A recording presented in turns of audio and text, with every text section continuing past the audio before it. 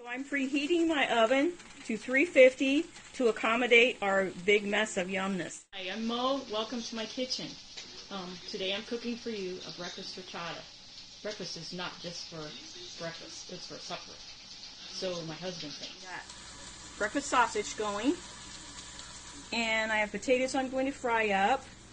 And I have evaporated milk mixed with water. And I have pepper gravy mix, about a one cup of that. And over here I've got a dozen eggs beaten up and some shredded cheese, like right there, and some green onions, like four of them, and I'm going to fry it in bacon grease. And we got some bacon bits here. Yeah. So in this pan, I'm going to start the fried potatoes, which will go in this paper lined cast iron skillet, which I bake in the oven for like uh, 30 minutes or so. So I'm going to get started here, okay?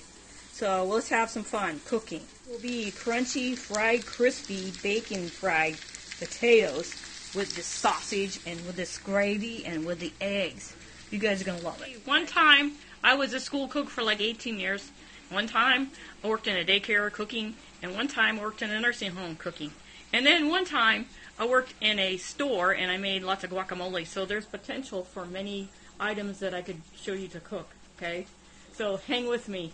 I know what I'm doing, even though it doesn't look like it. You want to get a little bit of crunch on your potatoes. So let them sit in there a little bit in that oil, the hot oil. Let, let them cook a bit so you get a little crunchiness. Okay, and then we've got our sausage about done.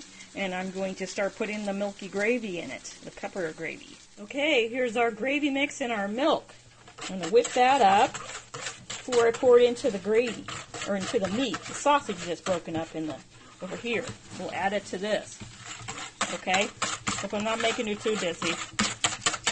I'm not the neatest cook, but it tastes good. Okay? I'm just telling you, it tastes good. So I'm preheating my oven to 350 to accommodate our big mess of yumness. The skilletness. You see the potatoes are getting brown and crunchy. I've got the gravy mix in with the meat. And all the other things are waiting to be put together you want to get a little bit of crunch on your potatoes. So let them sit in there a little bit in that oil, the hot oil. Let, let them cook a bit so you get a little crunchiness. Okay, and then we've got our sausage about done. And I'm going to start putting the milky gravy in it, the pepper gravy. So there's our fried potatoes, all ready for topping with gravy and eggs. So I'm going to put this down for each separate component. See, they got some nice crunch on there. See that?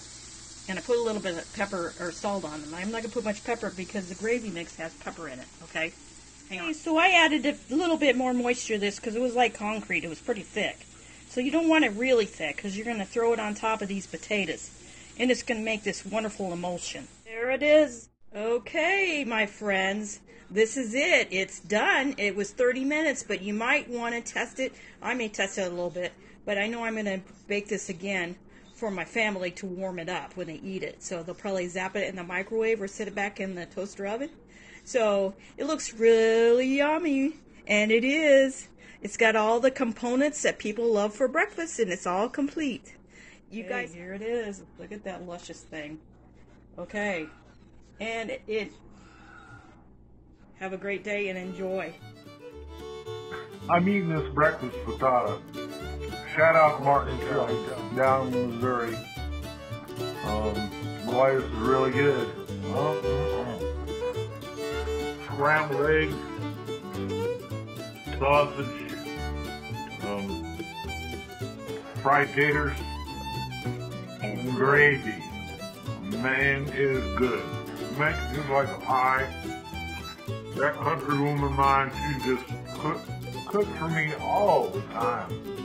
Yeah, I'm telling you what, this frittata is good.